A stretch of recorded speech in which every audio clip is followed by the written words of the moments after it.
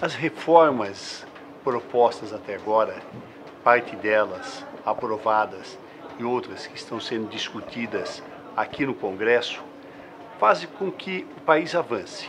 Já há sinais claros da recuperação da economia.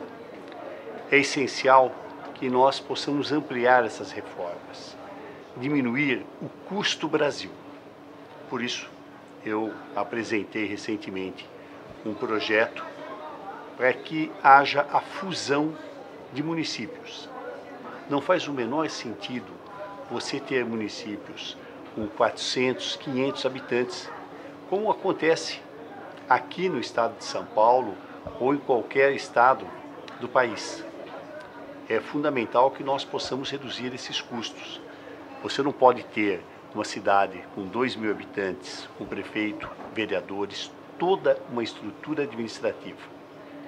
É essencial que você unifique essas cidades e, com isso, possa potencializar os resultados, os recursos que próprios e os recursos que são encaminhados através do fundo de participação dos municípios.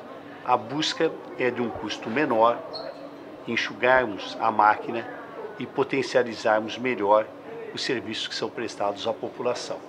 A proposta está em tramitação, nós temos uma expectativa de que ela possa vir a ser aprovada, com isso dando mais uma contribuição, buscando melhorar o país como um todo.